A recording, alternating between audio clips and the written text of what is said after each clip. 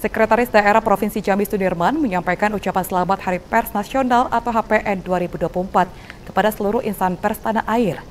Diharapkan pemberitaan yang baik dan seimbang menjadi tolak ukur keberhasilan suatu media. Informasi ini sekaligus menutup perjumpaan kita kali ini. Dan pemirsa, berita Jek TV juga dapat diakses melalui Persmi Jek TV dan jaring media sosial di bawah ini. Terus perbarui informasi Anda melalui saluran berita resmi Jek TV. Akhir kata saya Rindaudina pamit undur diri dan sampai jumpa. Cek TV, inspirasi kita. Pers berperan sebagai penyambung komunikasi yang positif antara pemerintah dan masyarakat. Sangat penting dalam mengawal demokrasi dan transisi kepemimpinan melalui penyajian informasi yang akurat dan objektif. Di momentum peringatan Hari Pers Nasional 9 Februari 2024, Sekretaris Daerah Provinsi Jambi Sudirman, Senin 19 Februari, turut memberikan ucapan selamat kepada seluruh insan pers. Dirinya berpesan insan pers selalu menjadi sumber berita dan penyebar informasi positif yang membangun semua masyarakat.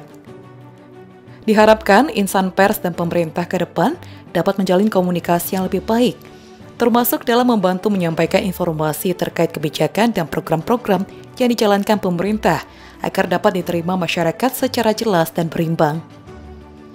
Karena menurutnya, pemberitaan yang baik dan seimbang itu menjadi tolak ukur keberhasilan bagi suatu media.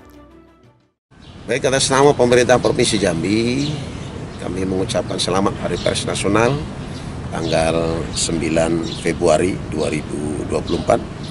Jaya selalu pers Indonesia, jaya selalu rekan-rekan media, karena pemberitaan yang baik, pemberitaan yang seimbang itu menjadi tolok ukur keberhasilan suatu media dan tidak kalah pentingnya sejahterakan wartawannya.